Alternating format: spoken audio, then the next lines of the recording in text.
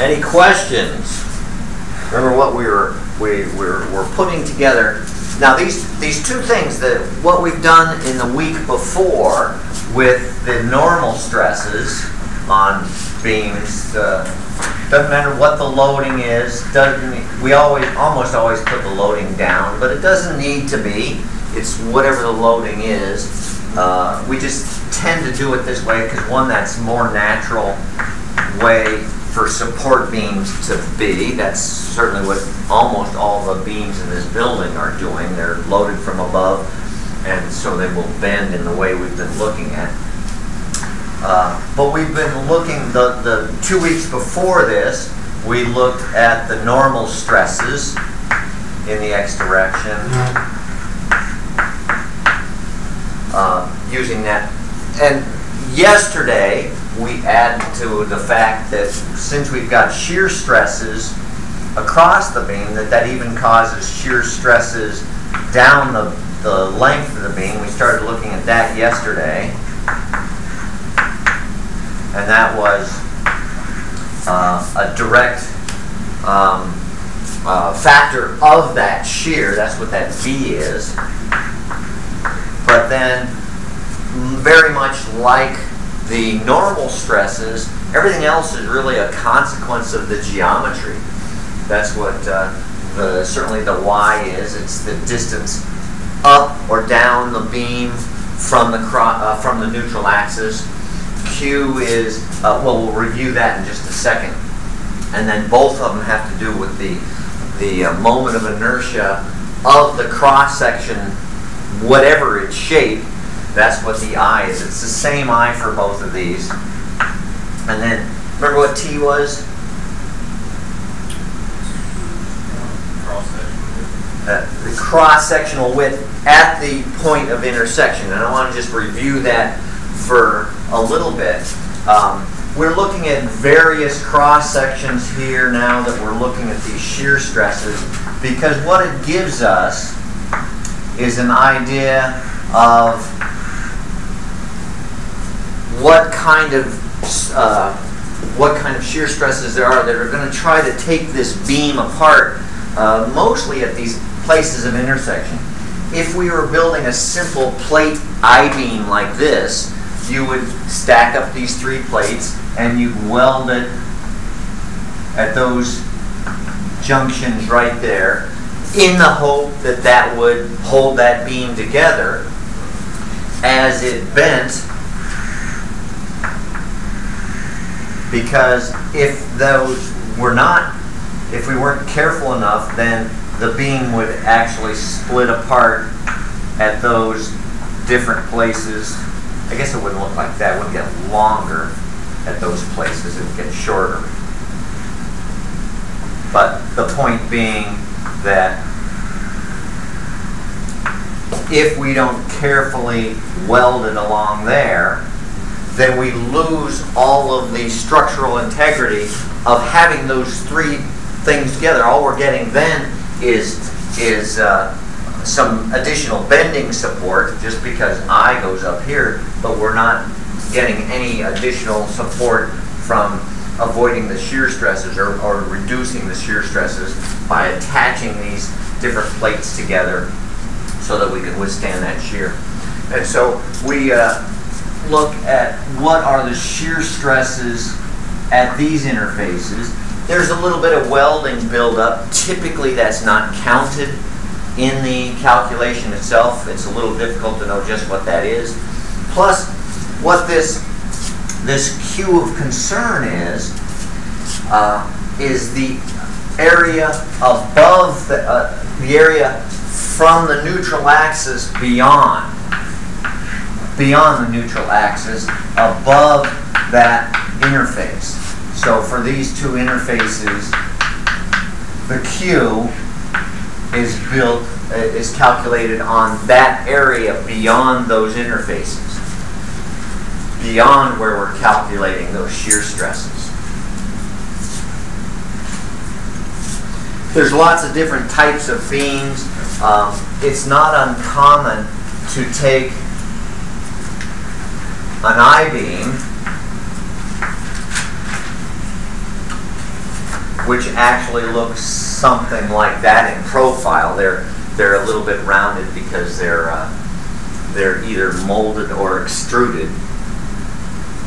Uh, it's not uncommon to take something like that and then add another beam to it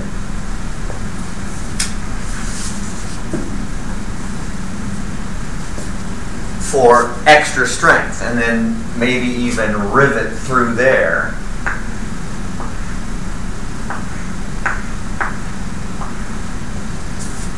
to add strength to it. Maybe do that on the bottom, maybe not. It depends upon where that beam is, just what is needed, it what you need it to do.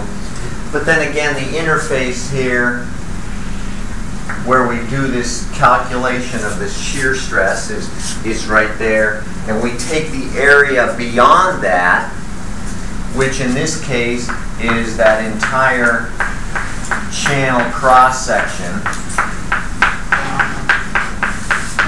even including those those little lips down there, but it's everything beyond the interface above the neutral axis where we uh, where we do this calculation of this Q. Remember, that's the, the, the first moment of area of the, uh, of the area beyond the interface. So it's pretty obvious with these ones. It may not be as obvious with this one that you just also include these, these little uh, uh, lips over. Uh, that's usually pretty easy if these are stock and standard channel beams that you've riveted on there because the manufacturer will give you the moment of inertia of those areas and the Q and T, the thickness, which in this case is the, uh, the interface, thickness of the interface itself. What's maybe not so obvious is another type of built-up beam, and we'll do this one out of wood. Um, maybe make a beam that's uh, perhaps a box beam.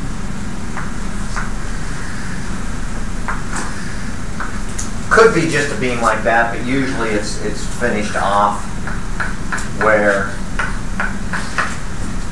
we have wood as all these pieces, maybe plywood on these outer pieces.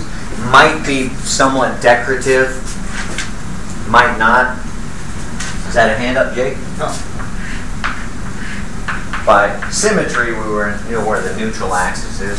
So now the the uh, the fasteners we put in there, maybe screws or nails and or glue.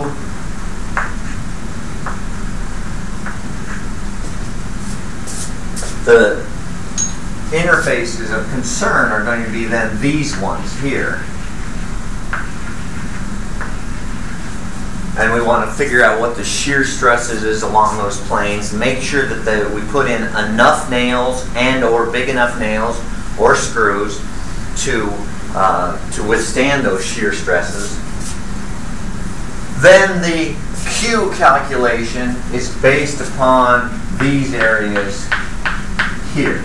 The areas enclosed by our shear interfaces. So that one's not, not quite as obvious, uh, what area is used for Q, as the other two examples are.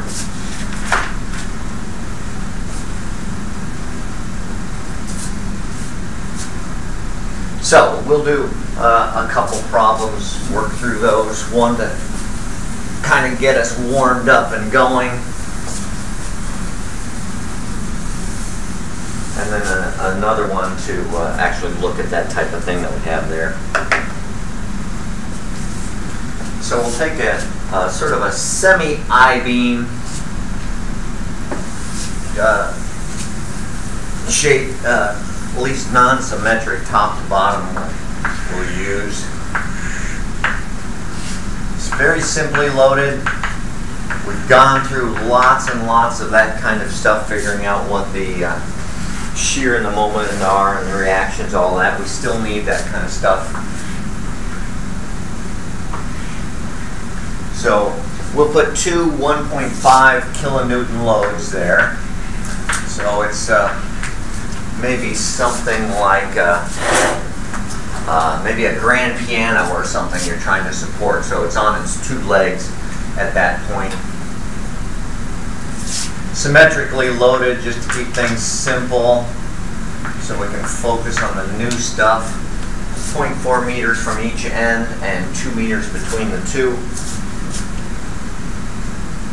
And we want to find out what the uh,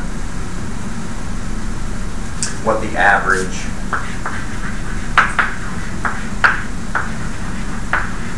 what the average shear stress is. So that's the type of thing we're looking at before. The cross section we'll use for this is a little bit different, kind of like an I-beam, just the lower flange is uh, a little bit narrower for whatever reason.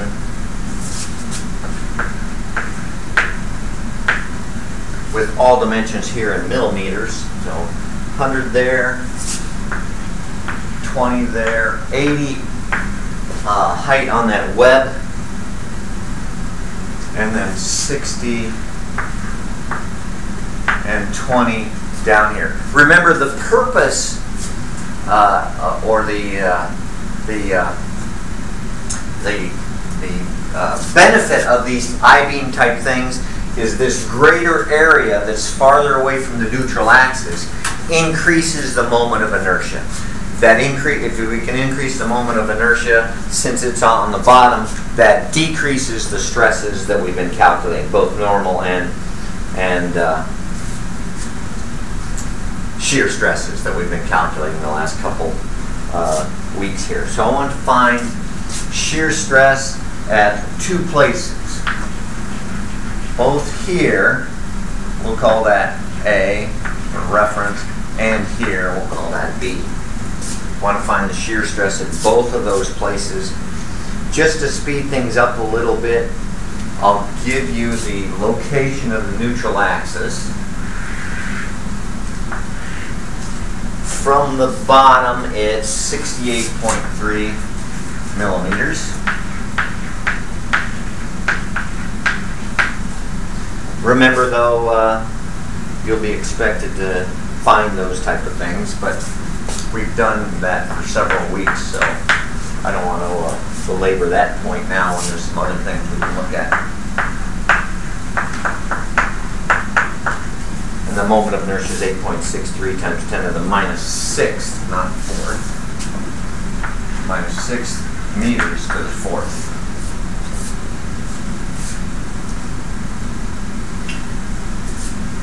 So I'd like you to find the uh, average shear stress. That's the same thing as this XY that we've seen.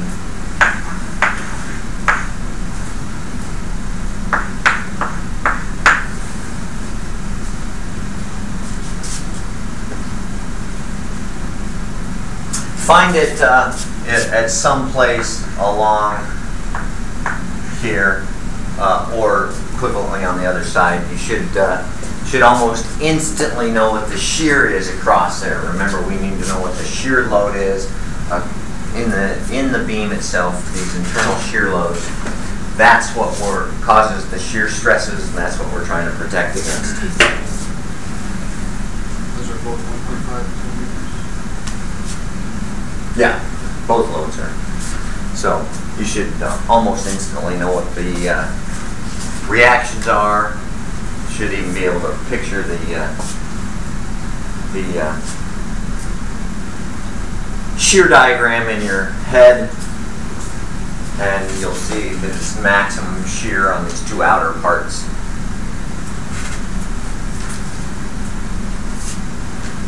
In fact, if somebody wants to volunteer to find the average shear stress in this middle part. It's, ah, you win. That's why you're my favorite student. Oh, see, Bobby left, so I could say that. Oh, no, it's on tape, darn it.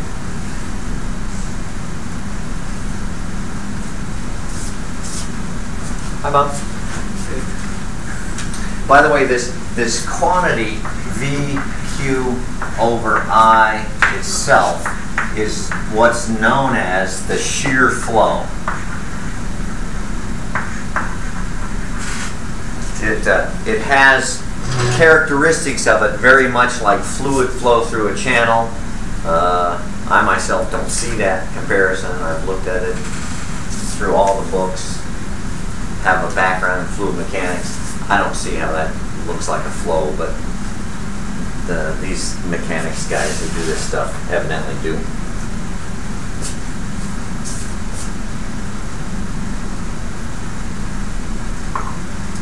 All right, so just putting into practice some of the things we saw yesterday for two different spots in the beam.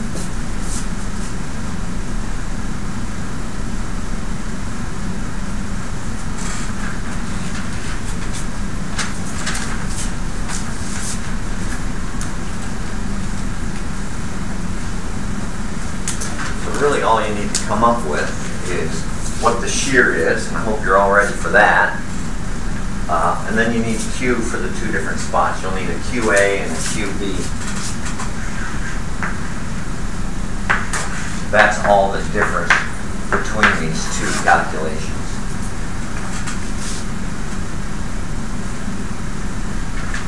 Is T the width of the surface between the two or of the cross-section above that we're taking through? T is this little distance here where the shear stress is happening.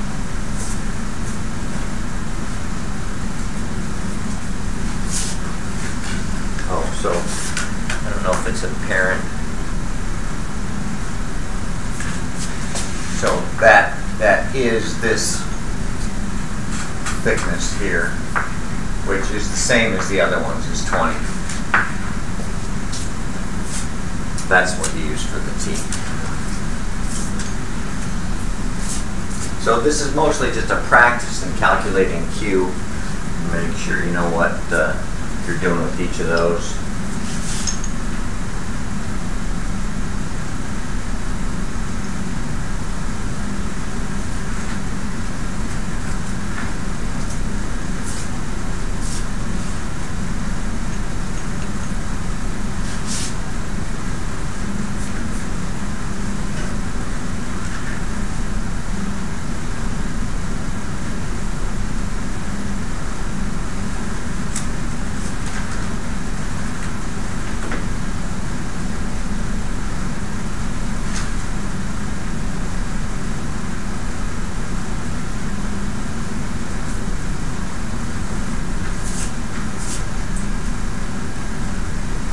So find Q, maybe check that with neighbors. 'cause Everything else is the same for both calculations, B, I, and T. Already done, Frank? No? It's too early.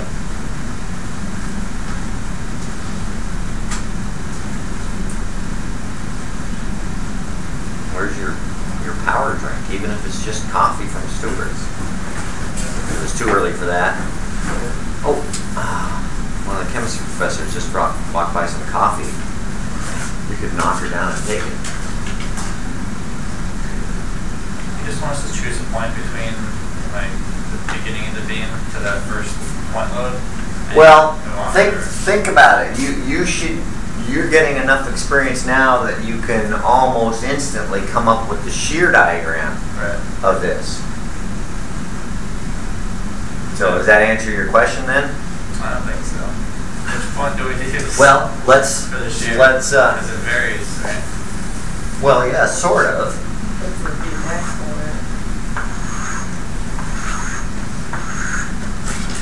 at? the, shear diagram.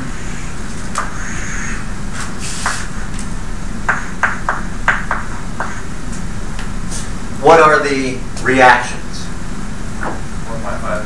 Yeah, since it's symmetrically loaded, you know that uh, instantly, you know that there's going to be a reaction up of 1.5 kilonewtons. You know from our experience that that gives us the first point on the shear diagram. Yeah. Then the slope of the shear diagram is the load curve, which is zero, so the slope is zero.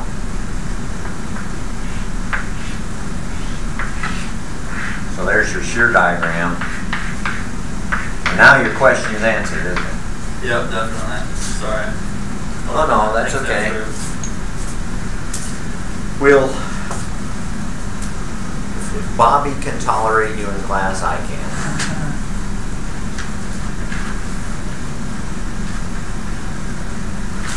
You know, in class, there's always a student somewhere holding you back, right, Bob? At work, there's be a, another employee's holding you back. You get married, there's another adult in the household who's holding you back.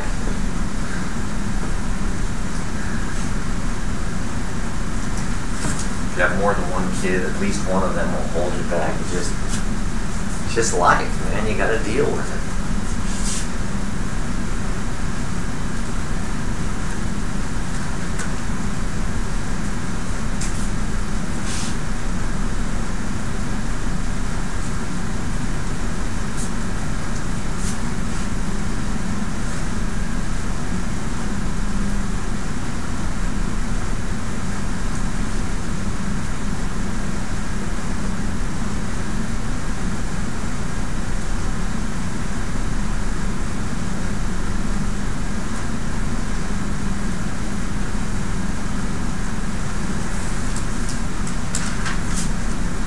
Did you check Q with anybody, Jake, before you went on? No, we were-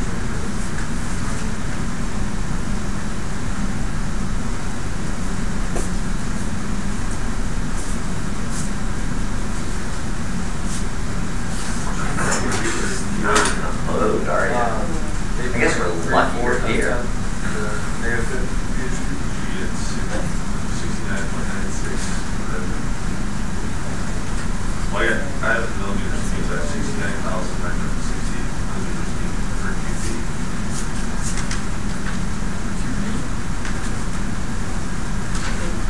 Are QA and QB the same? Uh, No, remember Q Oh, I didn't, oh, I didn't. is Y bar A, Yeah.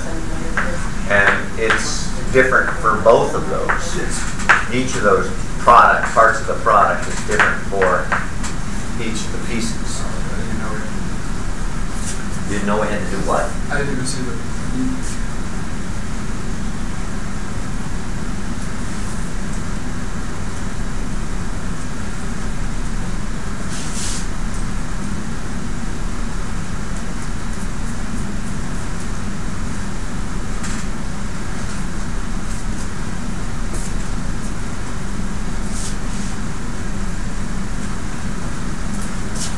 Frank, I think if it'll help, Q stands for Queensbury. Does that help? Not today? No?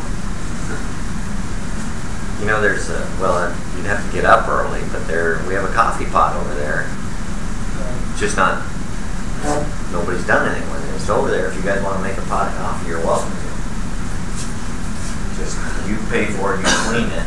Don't expect us to babysit.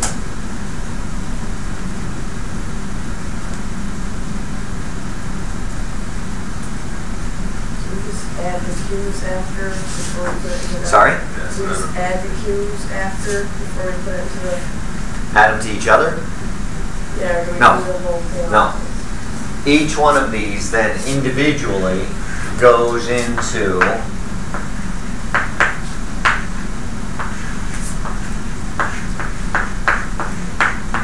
its own calculation for the shear stress there.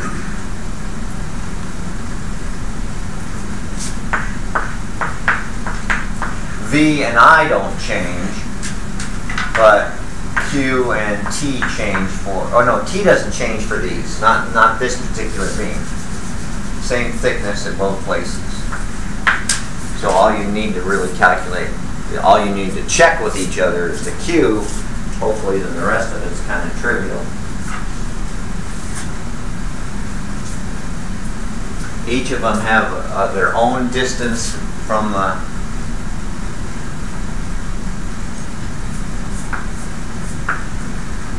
the neutral axis.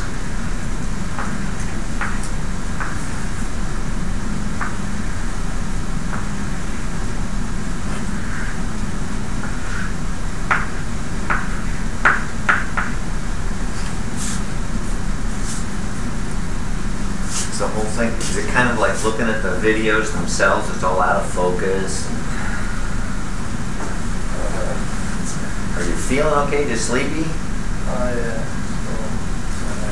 When'd you go to bed? Ever last night? Late? yeah. Well, late for an adult like me or late for a young punk like you? 2? 2 a.m.? Yeah. What were you doing until 2 a.m.? Just anything but going to bed. What? Homework for me? All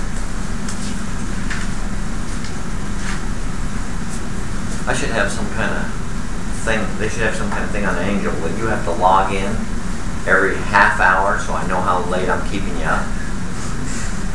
And I can get up in the morning, check the logs. yeah.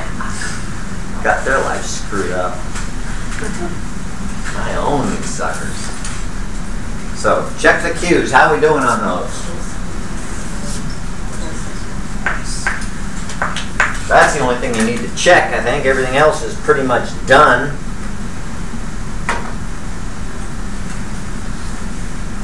Nobody wants to check them? You got them? You agreed? Perfectly?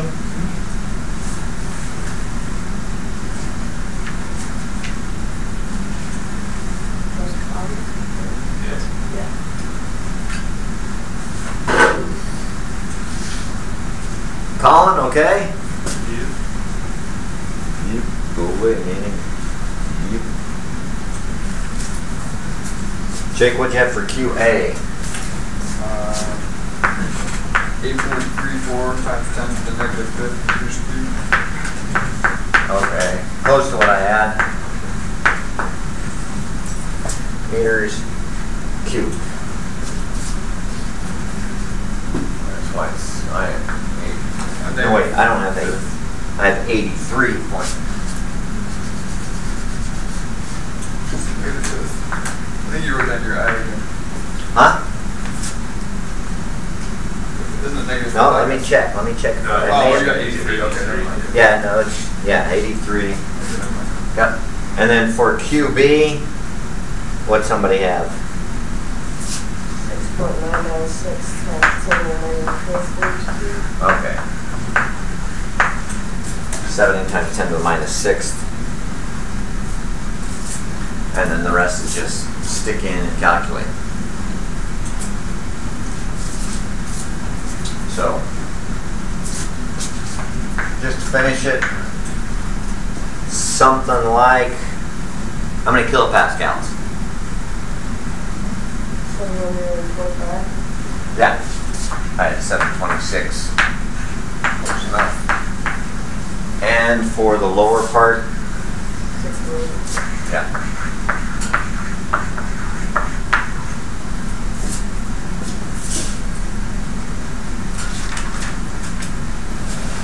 All right, so let's do uh, a slightly different one, a little bit more involved now that we're warmed up.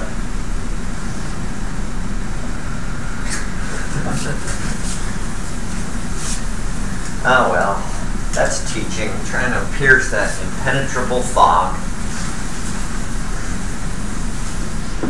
All right, so here's here's the beam du jour. Obviously made out of wood. Why else would I bring out the brown chalk?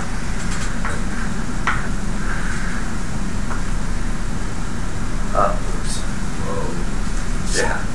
Whoa. Measure twice, cut once. That's what we always say.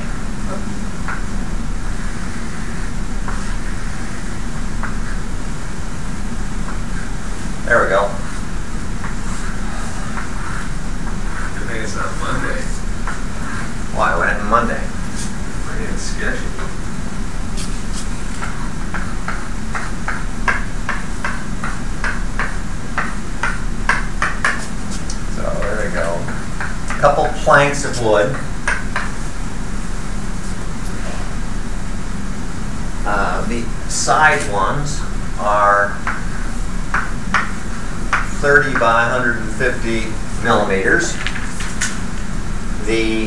inside one is 250 by 30.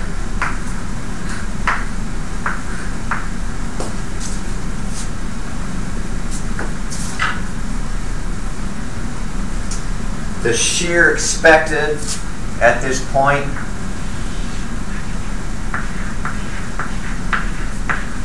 eight hundred newtons and the spacing between the nails color are nails? I guess they're blue.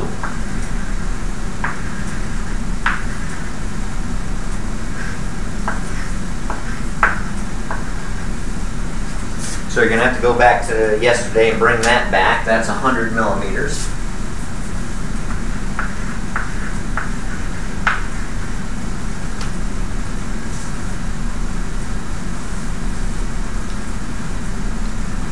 Each nail diameter is two millimeters.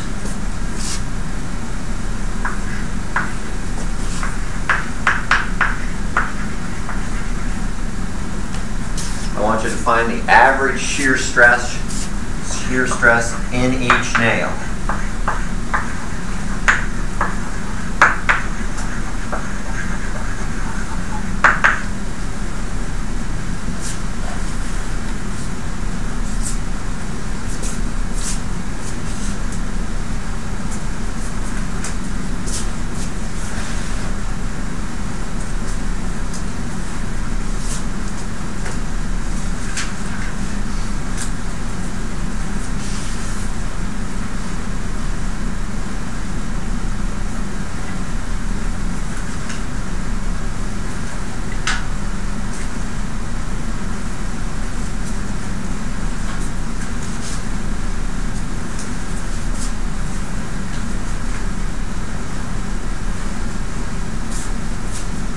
All right.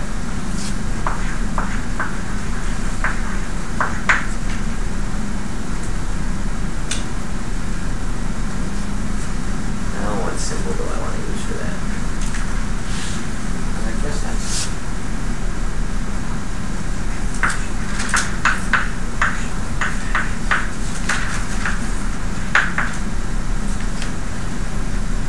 That's going to be the, the delta H business we calculated yesterday.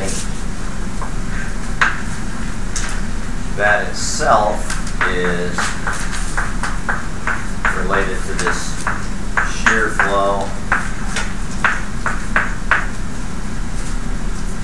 that we had.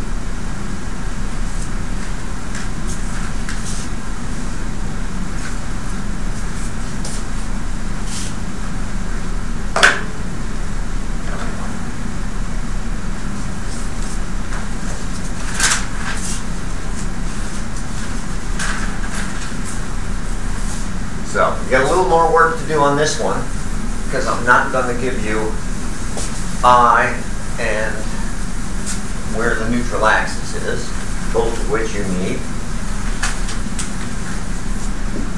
How much is the T, the little T?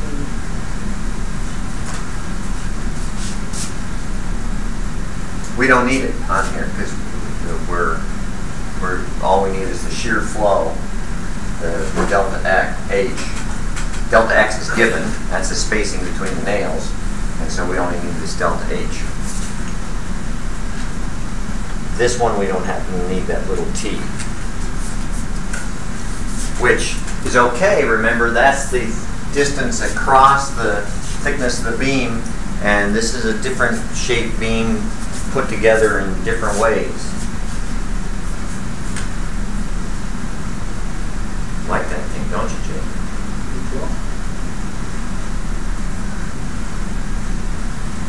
That's gonna go through that. You draw it straight, you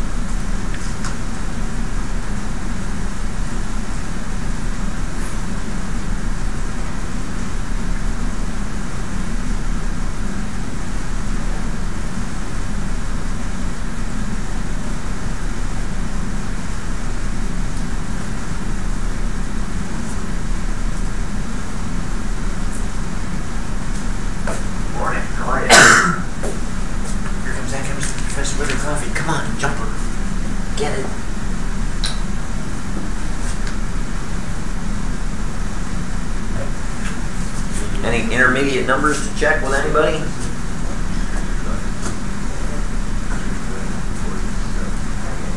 Oh, You know, from your experience, it's going to be a little bit closer to the top than it is the bottom. I hope you know that. So you can check your numbers when they come out.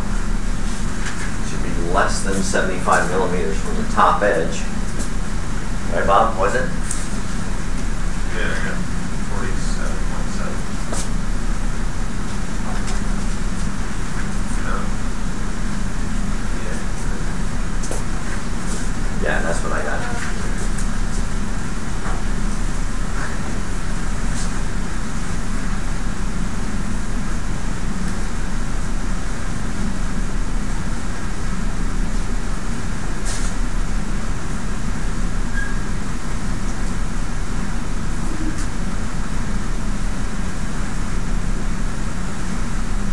Zero point, or point zero four seven meters, or forty. Check with me, check with What was your wide wide? Can't afford my consulting fees. Point zero four eight meters. Yeah.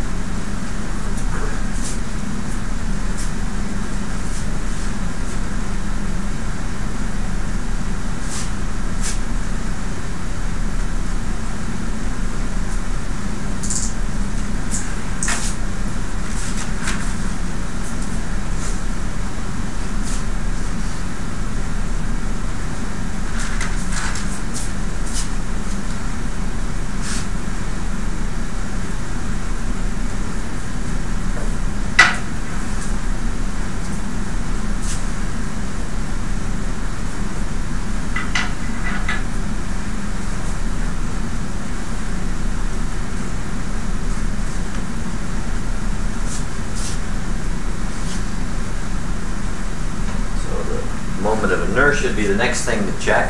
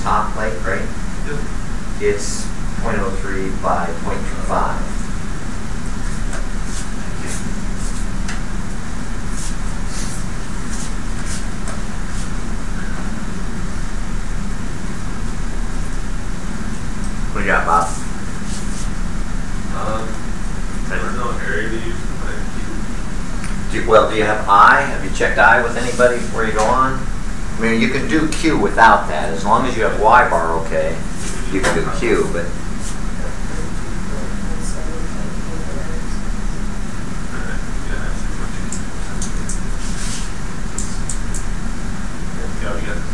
Yeah, same as I got. So, all right, that's good. So then your next question I'll leave for one of your classmates to help you answer. Did you come in a little bit late? Well, you went out for a second. I wonder if I covered it when you went out. Because I talked about this, this particular shape.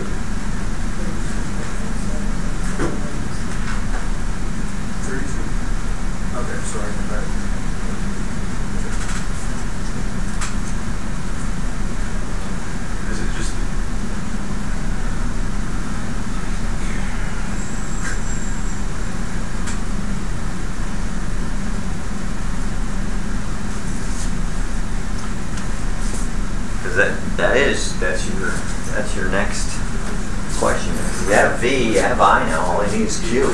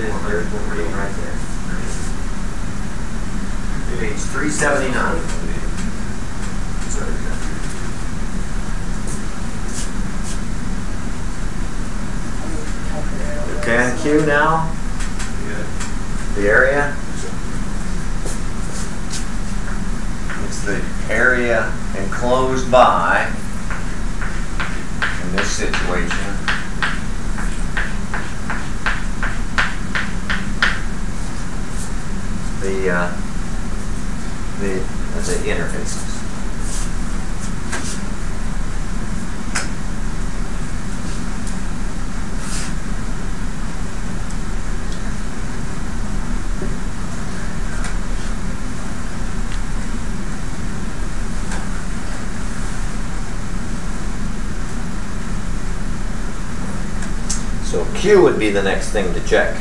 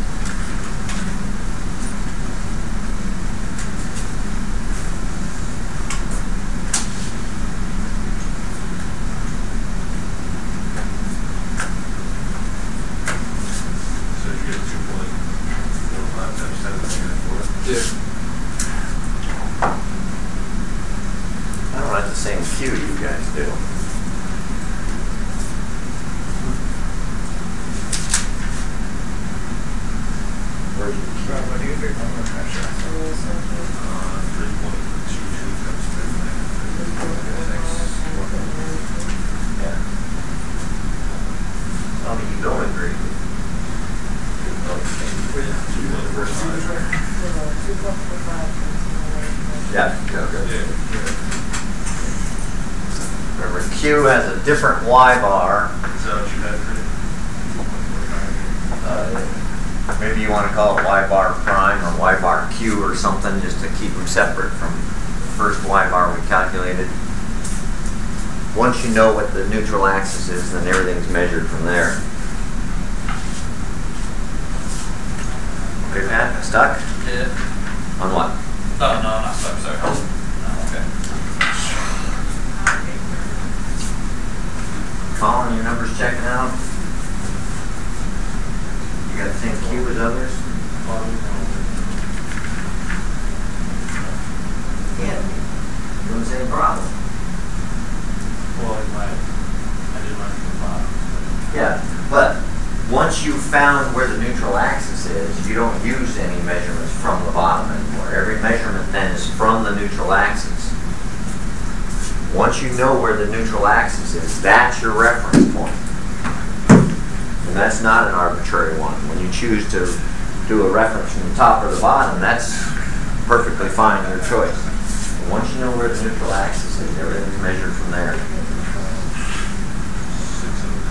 That Y bar prime, can we think of that as like the D value in that parallel axis there? Yeah, that's good. Well, yeah, kind of. It's, it's the distance to the centroid of your Q area. Or, no, it- that's not, we called it, uh, remember that big script A? Yeah. The centroid of that area is from the distance from the neutral axis, which is like D. Okay, But you don't do the parallel axis theorem Right. on this. okay, yeah. But it is the same, same thing you would have used. Same number.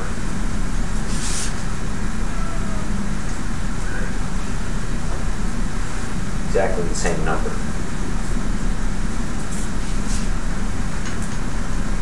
Got it? Check final numbers? Huh? No? No?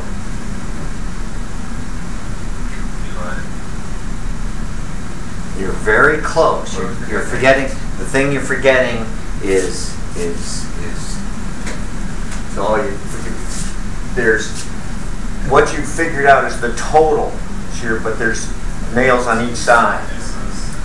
So you have to divide that in half, because each side takes one half of that. So you should just use forty-five.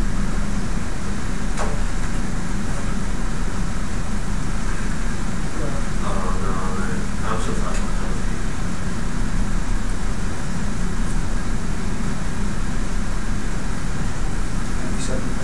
Yeah.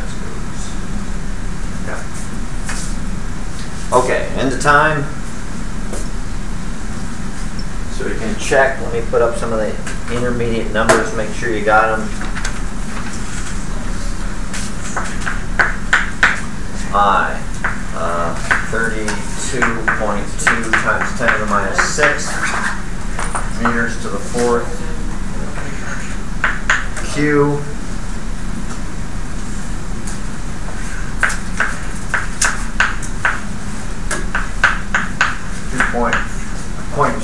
5, 10 minus 3 meters cubed. And then, uh, what, what's next? I guess the delta H.